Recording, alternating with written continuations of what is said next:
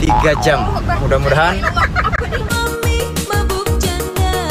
di bawah tiga tahun cukup dengan 25. Gak, gak gratis, gra? to someone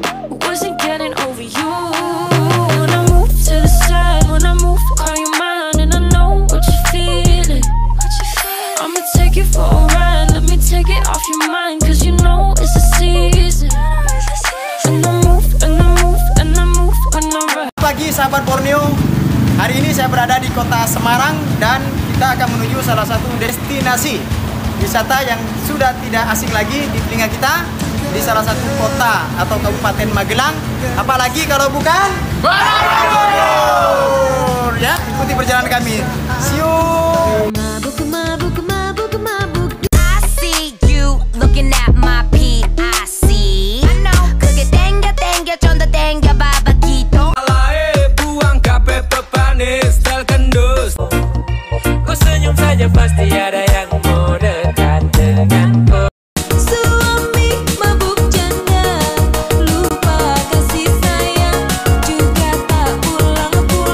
Halo. Ya, kita sudah akan eh, berangkat start ya dari kota Semarang ke kabupaten itu di mana Mas? Magelang ya. Magelang. Dan estimasi perjalanan dari kota Semarang menuju Borobudur di Kabupaten Magelang sekitar 3 jam. Mudah-mudahan berjalan lancar tanpa ada halangan apa pun. Si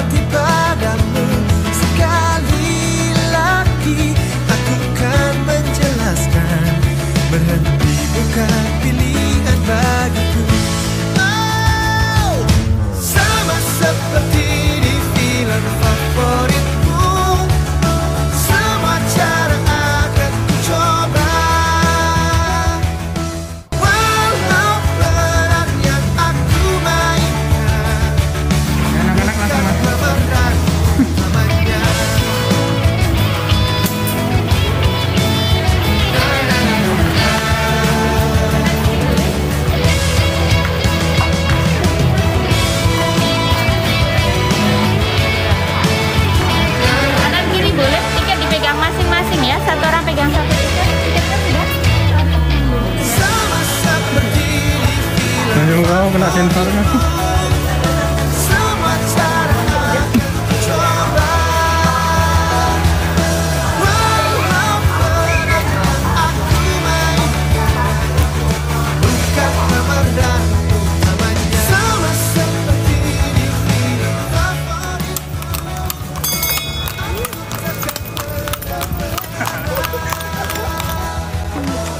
salah satu fasilitas yang ada di kawasan Candi Borobudur ini adalah andong nih Pak ya. Iya. Andong. Jadi kita bisa berkeliling menyusuri kawasan Candi Borobudur ini dengan menggunakan andong kuda nih ya. Nah, seperti ini. Apa bedanya kuda ini Pak dengan delman Pak? Andong dengan delman Pak? Andong itu untuk bahasa Indonesianya itu untuk roda yang empat. Kereta kuda yang di Malioboro itu andong namanya. Rodanya empat. Oh, bebannya empat. Nah, kalau ini Dilman, orang Jawa menyebutnya dokar. Dokar. Yang keduge cakar. Kedoke cakar. Oh, disingkat jadi do. Dokar. Walah walah. Kedoke cakar jadi dokar. Nah, untuk naik fasilitas ini, sahabat Borneo cukup mengeluarkan biaya sekitar 100.000 rupiah. Dan ini fasilitasnya cukup lumayan karena bisa untuk empat orang ya Pak ya. Ya, Bisa empat orang. Kudanya kuat banget. Ah, kuda liar, kuda Sumba. kuda Sumba ya. Oke, seperti itu ya. Oke, Itu saja review kita hari ini. Salam hangat dari Borneo. See you next trip.